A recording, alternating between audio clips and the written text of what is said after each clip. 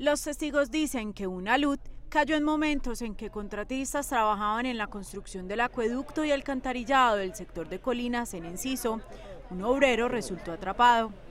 Una hora después, el obrero fue rescatado con síntomas preliminares de aplastamiento.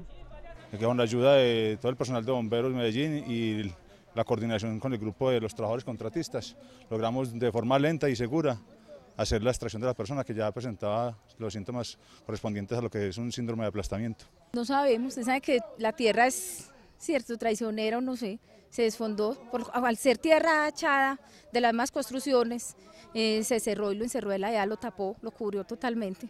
Luego del susto por el suceso, la comunidad teme por sus viviendas, pues saben que el terreno está cediendo.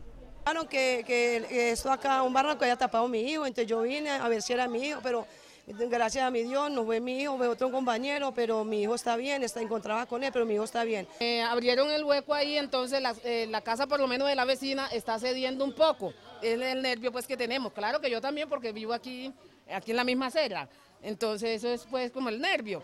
Hoy se presentaron dos accidentes en obras en Medellín. Además del atrapamiento en Enciso, en Laureles un obrero cayó del andamio de un edificio en construcción hasta el techo de una casa vecina.